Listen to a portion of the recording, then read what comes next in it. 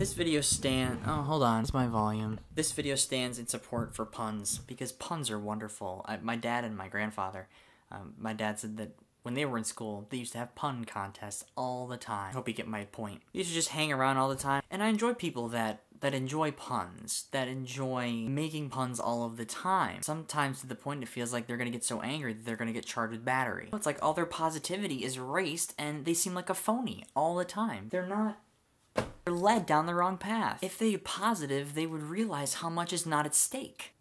I mean, don't you ever want to just plug them for not being the biggest fan of puns? Sometimes I've just had enough. This is not sponsored by Gander Mountain. I think those are the corny puns because they're not like completely the same word. These things just happen. So I hope you could bear that. I really do, though, at some point want to do something with puns because puns are just so punny. Um, I think I'm pretty much done because I have to get up two videos, and this is the one before that should go up on the 23rd. I'm a little bit tired, so keeping you. Don't forget to be awesome.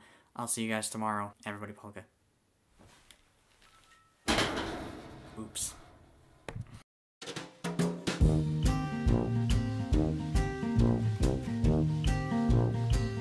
This is me being trying to be way too funny.